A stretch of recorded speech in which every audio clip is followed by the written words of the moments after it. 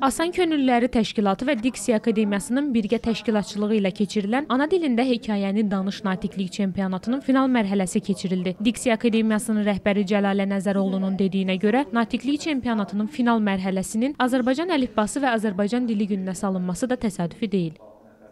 Əvvəla birinci turumuz video üzərindən aparıldı. Biz elan verdik, iştirakçılar öz videolarını çəkib göndərdilər. Ona əsasən təyin elədik ki, təxminən neçə nəfər bizim çempionatda iştirak edə bilər. İkinci tura 36 nəfəri qəbul elədik. Onlar çıxışlar elədilər. Sonra ələnmə prosesi getdi, yenə azaldıq və nəhayət ki, o biri turlardan da e, seçiləndən sonra bu günə, final gününə 5 nəfər qaldı.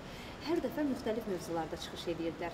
Mövzuları e, deməli təşkilatçılar verirdilər. Bu gün finaldır. Məhz Azərbaycan dili və əlifbası gününə salmağımız da əlbəttə ki, təsadüfi deyil.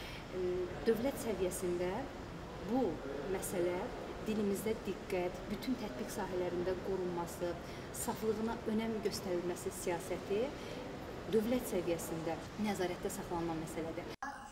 Qeyd edək ki, Diksiya Akademiyası Azərbaycanda natiqlik sənətini öyrədən yeganə qurumdur və bu cür layihələrin keçirilməsi gənclərin düzgün nitq bacarıqlarına yiyələnməsi baxımından olduqca vacibdir.